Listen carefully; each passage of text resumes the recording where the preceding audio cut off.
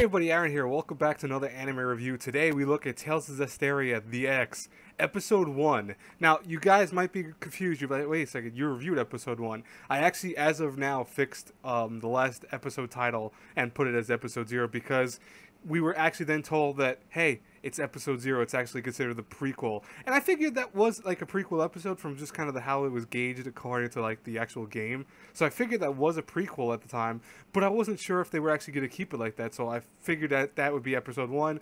That's actually episode zero. Technically, this is episode one, so don't be confused and be like, "Well, what's happening?" I, also, I do apologize. This is out so late. You know, I know a lot of you probably won't even view it because it's so late. But um, this is the only time I could get it up. Unfortunately, today I had a lot of stuff to do today. You're easier the podcast. I had to go have dinner with my family and stuff like that. So I've been busy kind of all day today. Anyway, so let's talk about what actually happened in this episode, nonetheless. So we have Alicia kind of reeling from what happened in the actual prequel episode, where she had to see everyone essentially that she was close to, or at least she knew, die. And we're going to learn that, that Alicia, as smart as she is and as great and a valiant knight as she is, does have a lot of issues per se with certain things about herself. And I'm not going to spoil that and go into too much detail with it, but that's something from the games that I know they're going to already put in there because I could see uh, hints in here and there, things that does happen that are very mimicky to the actual games.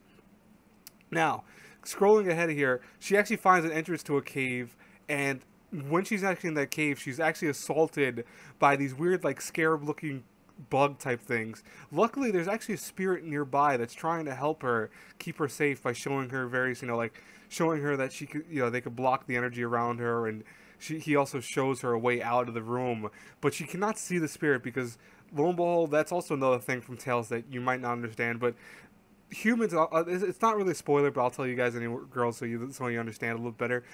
Most humans cannot see spirits in the show, in the kind of story lore of Tales of Zestiria. So any of the spirits or the seraphim, which will be introduced to one of them later on, they can't see that with their own two eyes. So even though he's trying to like give her attention and trying to show her like he's there, she can't see it. Anyways, skipping ahead though, she's able to get out safely, and then we're introduced to our really main character, Sorey, who actually is going to be the central character of this whole series. You know, Alicia will have a predominant role, but unless they do something very different from the games, which is very possible, Alicia will not have the same shining time that Sorey has.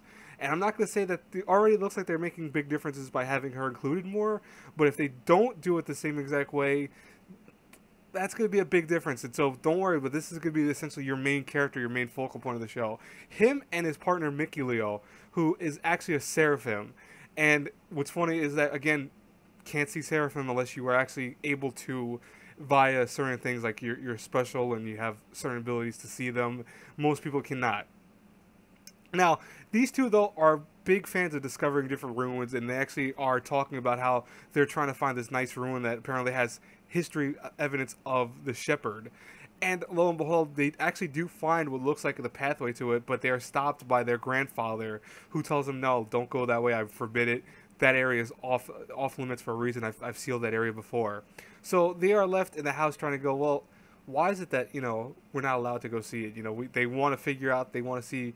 They want to see what's there themselves. So of course, like any other teenager would do, they decide, hey, you know what? Screw what Gramp said. We're gonna go see it.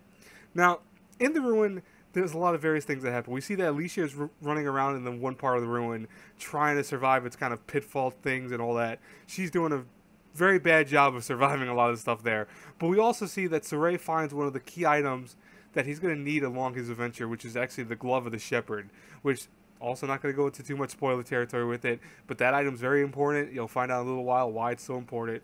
But essentially, what the biggest thing you'll take away from this is the actual meeting of Sorey, Mikleo, and Alicia. So having both of them, or having all three of them, excuse me, on screen at the same time, this is the major beginning point of the story for Tales of Zestiria. Even the game, this was kind of like the big change of events that happens, where you really get into the story, you get into the character. So I'm looking forward to episode two. Technically, I think it's going to be awesome because of the sheer fact that we'll finally have some big events happen. You're going to see what events will happen eventually.